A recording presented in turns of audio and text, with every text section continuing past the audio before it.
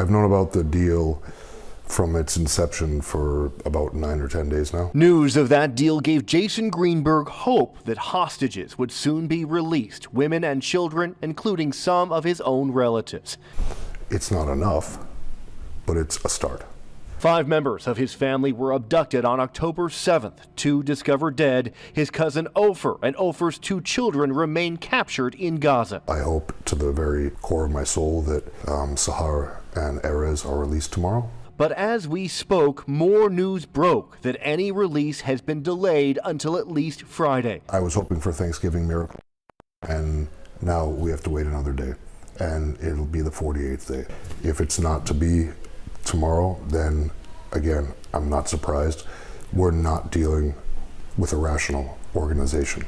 We're dealing with terrorists. He was hoping to soon learn the names of the first 10 hostages to be released, but now the waiting continues. It's a it's a moment to moment agony that that I go through and um, try to remain cautiously optimistic. There's nothing that they or we want more than them to be released and reunited and to be able to heal. The delicate deal would release 50 women and children in exchange for 150 prisoners being held by Israel and a four day break in fighting. It's all on hold another day. How far does Israel need to go to get your family members out?